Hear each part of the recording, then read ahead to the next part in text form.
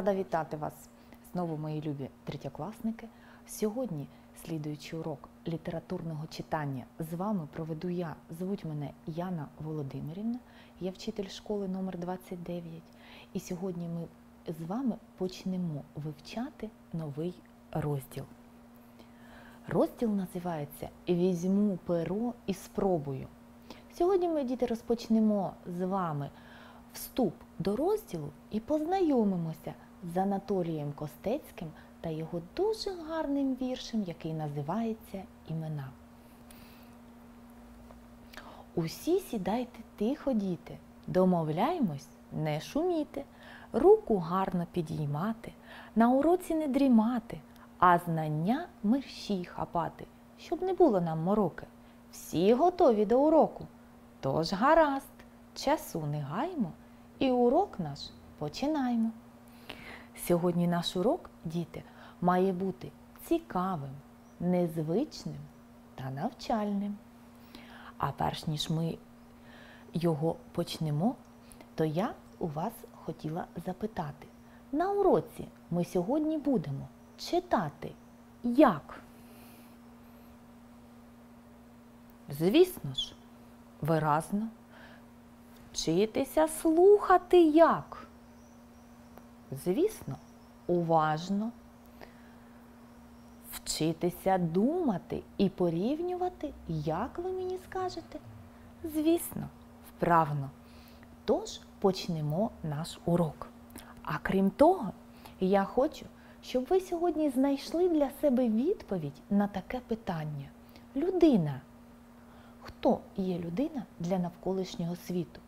Людина господар, людина користувач, чи людина спостерігач, чи людина частина, або ж друг, або ж ворог навколишнього світу. Як ви вважаєте, діти? Звісно, діти, людина це господар всього навколишнього світу. І сьогодні ми з вами почнемо працювати над темою нашого уроку. Спочатку ми попрацюємо над чистомовкою. Приготувалися? Зараз будемо повторювати разом зі мною. Рі, рі, рі. Що ти бачиш угорі? Рю, рю, рю. Бачу ясною зорю. Рі, рі, рі. Ще що бачиш угорі? Ря, ря, ря. Небо синє, як моря. Рі, рі, рі. Ще що бачиш угорі? Рі, рі, рі. Там літають комарі. Ра, ра, ра. З комарами мошкара. Ра, ра, ра. Розбігаймось до утра, дітвора. Молодці діти, ви вправно виконали це завдання. А зараз я хочу, щоб ви мені допомогли. У мене є такий гарний віршик, але я його не можу прочитати. Допоможіть мені, будь ласка. Даю вам одну хвилиночку для того, щоб ви роз'єднали слова і виразно прочитали.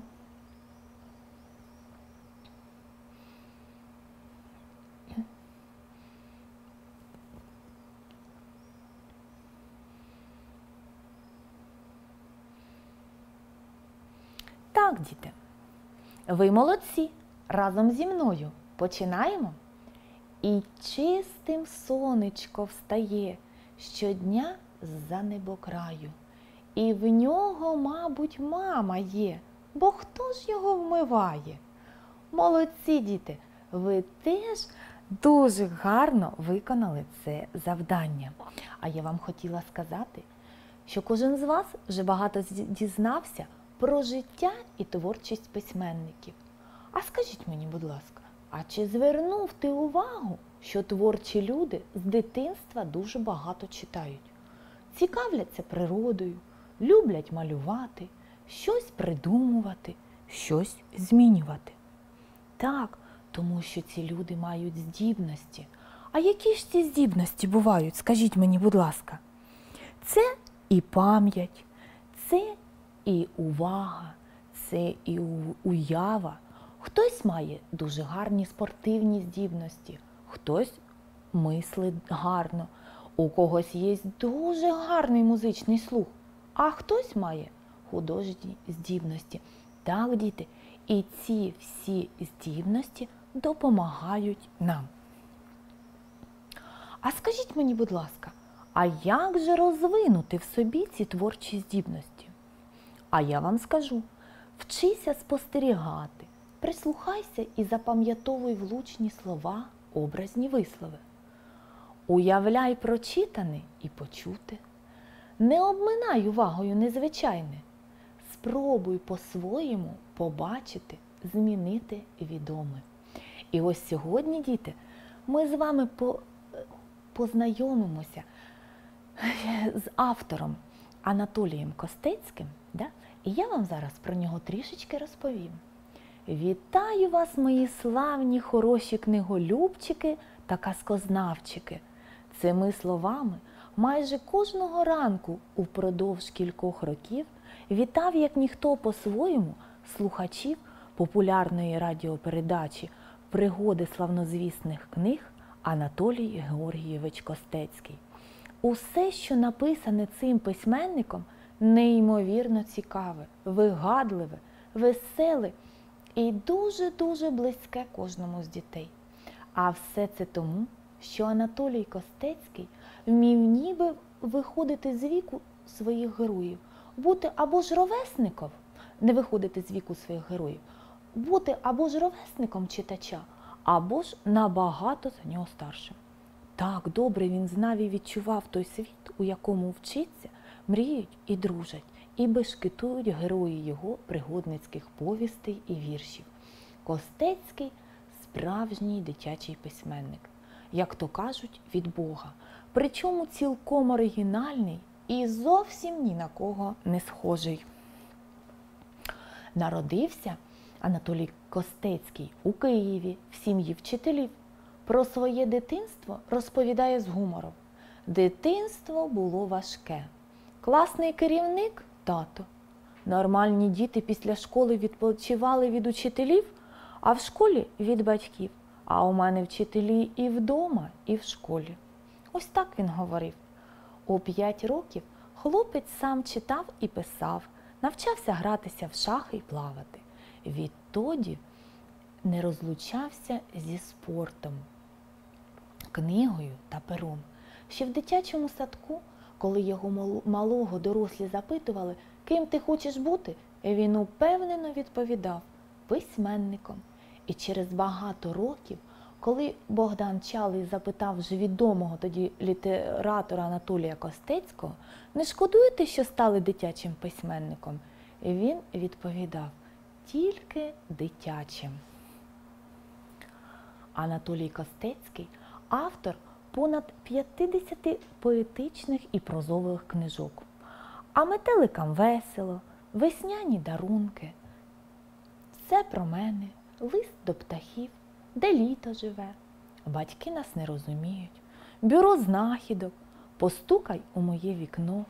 Все як насправді, суперклей Христофора Тюлькіно, або вас викрито, здавайтесь. Мінімакс кишеньковий дракон або День без батьків.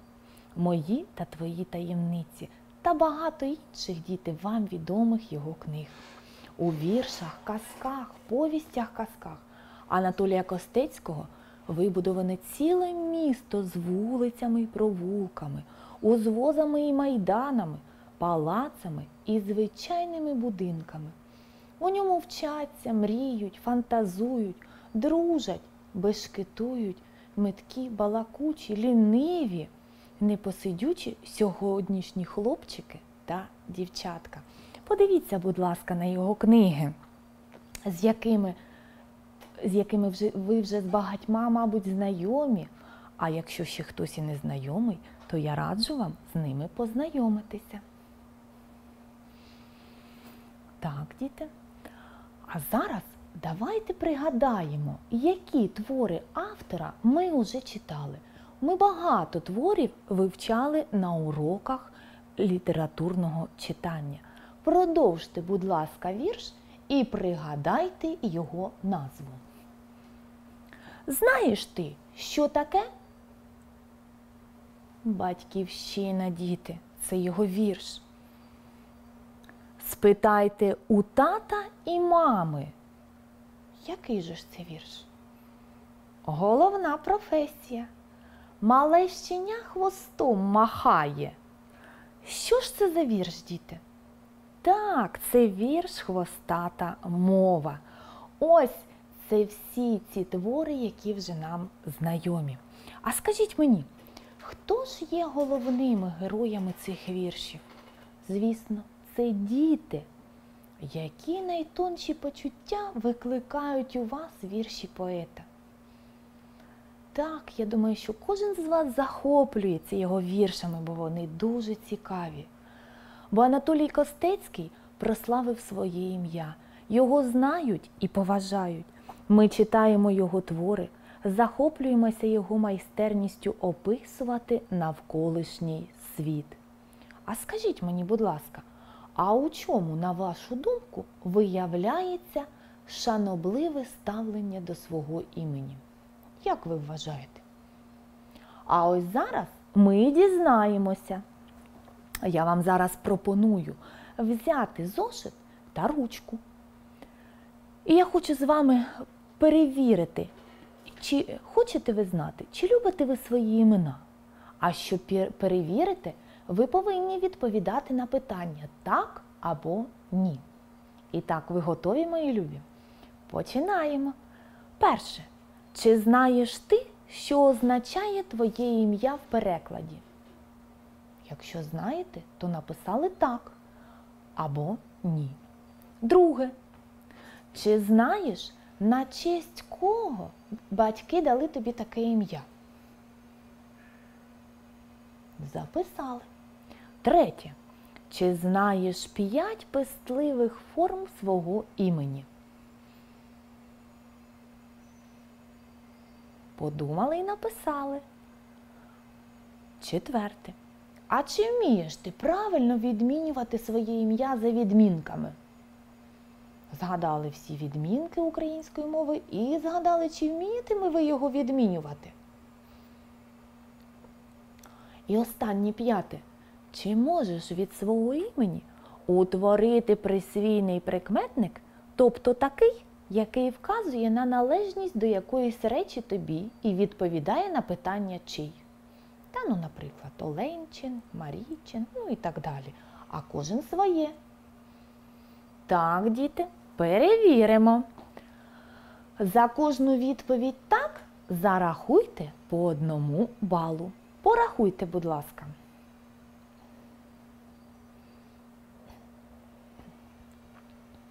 І так, ви вже готові. Я зараз вам скажу результати. Якщо ти маєш 4-5 балів, то ви шануєте своє ім'я, вмієте ним користуватися. Дбайте лише про, про те, щоб про вас у людей завжди була гарна думка. А для цього мало мати гарне ім'я. Тож будьте добрими, вічливими і працьовитими. Якщо ви отримали 3 бали, скористайтеся словником, підручником української мови, щоб власні імена не створювали вам прикрощів, виявляючи вашу необізнаність з правописом та граматикою. А якщо діти у вас 1-2 бали, це свідчить про те, що ви легковажите власним іменем. І так, ми переходимо далі. З іменем людини тільки починається знайомство. У спілкуванні кожен прагне більше довідатися про нового знайомого. А чи задумувались ви діти над тим, чому всі предмети, які нас оточують, називаються саме так? Мабуть, у кожного з вас виникало це питання. Мабуть, ви думали, який чарівник створив і назвав саме так. Вдивляючись у навколишній світ, чи у вас не виникало бажання щось змінити або по-іншому назвати предмети? Я думаю, кожен з вас хотів щось змінити і хтось щось по-своєму назвати. А от діти герой вірша Анатолія Костецького змінив деякі назви. Ось ми зараз і послухаємо. А перш ніж ми послухаємо, словникову роботу проведемо. У вірші вам зустрінуться такі слова: страшенно, любенята, голубинкові, безіменник. Запам'ятали їх діти. І тож приготувалися до слухання вірша. Зараз всі сіли рівненько, уважно прослухали і прослідкували в підручнику вірш Анатолія Костецького імена. Анатолій Костецький. Імена. Я хотів би страшенно, як захочете знати, все у світі по-своєму знову назвати. Я назвав би волошку, тоді голубинка, щоб дорослі ще більше її полюбили. А хлоп'ят і дівчат я б назвав любенята, щоб іще веселіше було їм гуляти. Я б ласкаву тополю назвав Лопотуля, щоб вона для птахів дарувала притулок, а бабусю назвав би тоді я Любуся, щоб світилася ніжністю кожна бабуся, і цвіли б любенят голубинкові очі, і любусі гуляли б із ними охоче, а над ними співала б собі лопотуля, і цю пісню її всі б навколо почули. Та речей безіменних на світі нема. Жаль, що є вже для всього давно імена. Так, діти, ви прослухали. А тепер скажіть мені, чому ж хлопчик із жалем промовив останні свої слова? Тому що він знав, що вже у всіх на світі є свої імена. Так. А що б ви могли йому порадити? А в чому навіть і запевнити? Як ви вважаєте? А скажіть мені, чи сподобалися вам нові імена? А які почуття він укладає в нові імена? Так, діти, це почуття добрі, да? це гарні почуття. І ось ми зараз з вами з'єднаємо слова з придуманими автором назвами. Це такі слова волошка, хлоп'ята і дівчата, тополя, бабуся. І так, діти, як же ж хлопчик назвав волошку? Молодці діти, волошку він назвав голубинкою, мабуть, тому що вона голубенька. А як він назвав хлоп'ята і дівчата? Так? Як він їх назвав хлоп'ят та дівчат? Так, він їх назвав любенятами, да? Тому що вони любі, мабуть, йому були. А тополю як він назвав? Тополю назвав Любуся. А як ви гадаєте чому? Мабуть, тому що він любувався нею. А як він назвав, пробачте, тополю він назвав Лопотуля. А ось бабусю да, він назвав Любуся, тому що вона люба, да, він нею любувався. І ще її можна говорити і буся, і бабуся, і бабусенька, і дуже багато гарних слів. Ось. А зараз, діти, ми пограємо з вами в гру, яка називається Добери Риму. Для цього вам потрібно бути, перед вами потрібен підручник. І так, я взяла останні строчки вірша, так? А ви повинні знайти Риму до них. І так, знати, назвати. Любенята знайшли.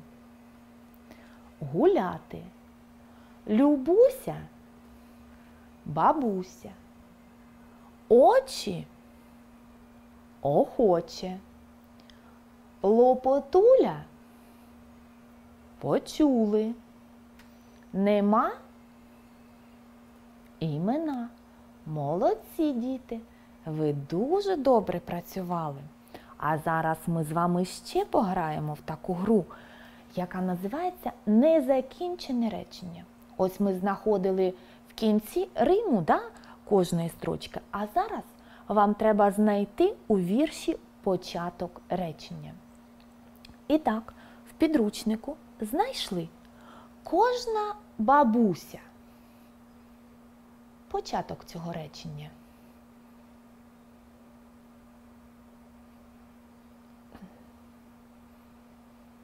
Так, молодці, щоб світилася ніжністю кожна бабуся. А діти таке речення дарувала притулок. Знайдіть, будь ласка, початок цього речення.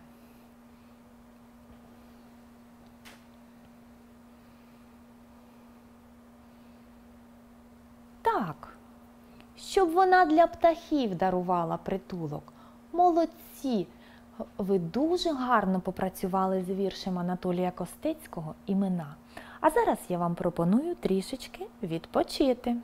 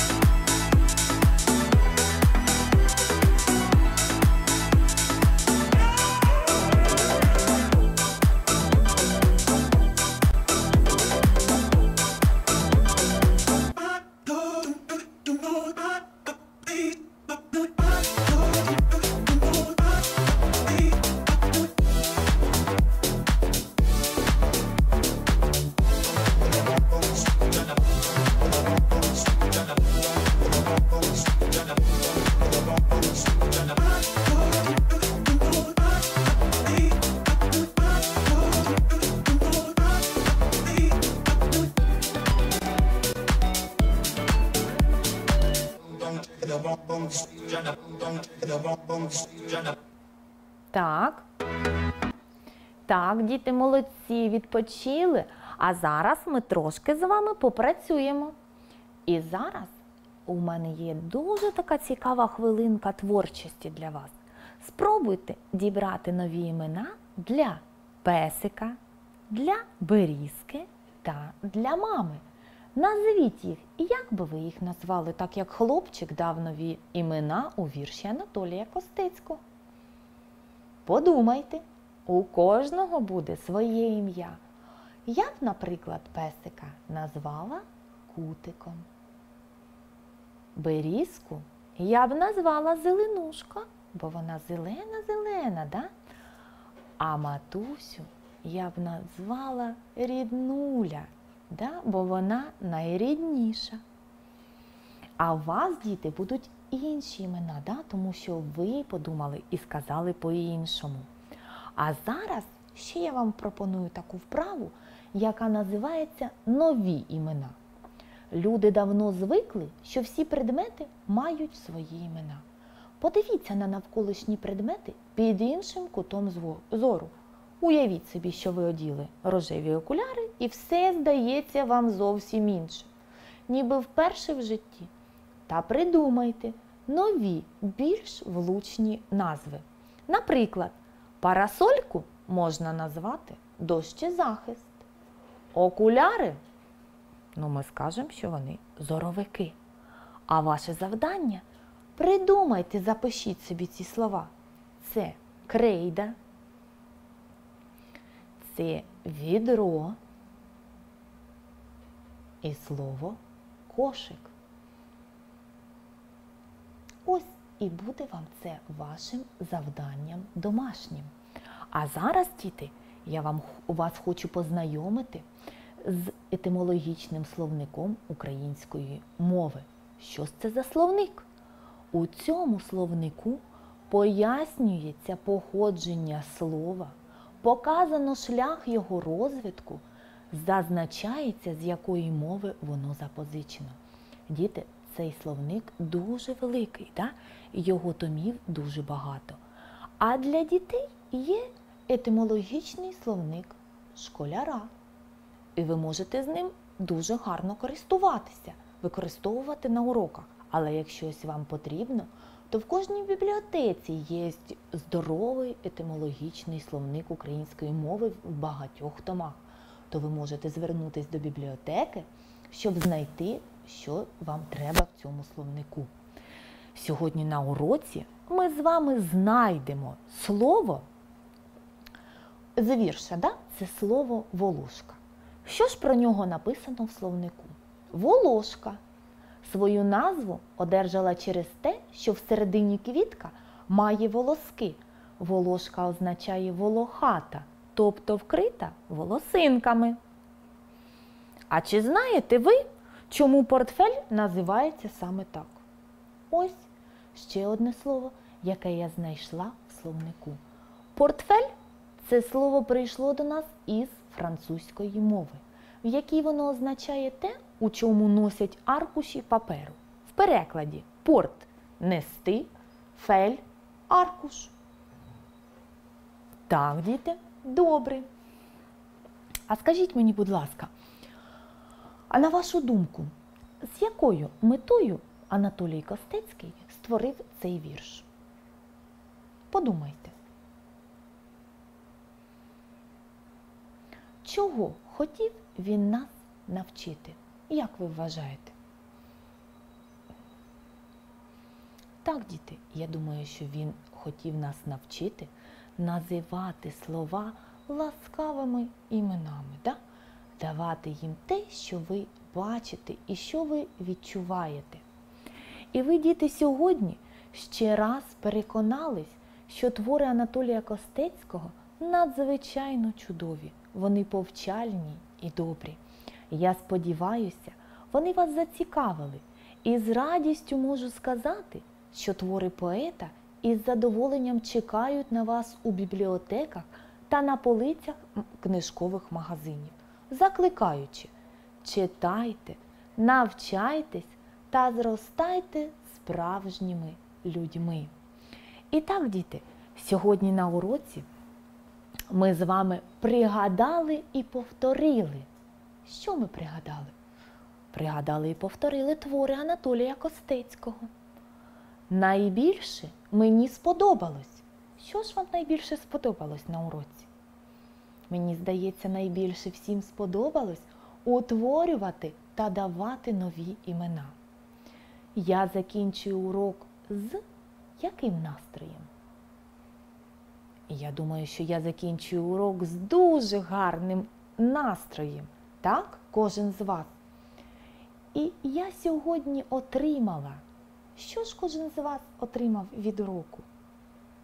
Я, діти, сьогодні отримала задоволення так, бути разом з вами і працювати з вами. Тож я бажаю вам успіхів у навчанні. Дякую вам за увагу. До нових зустрічей!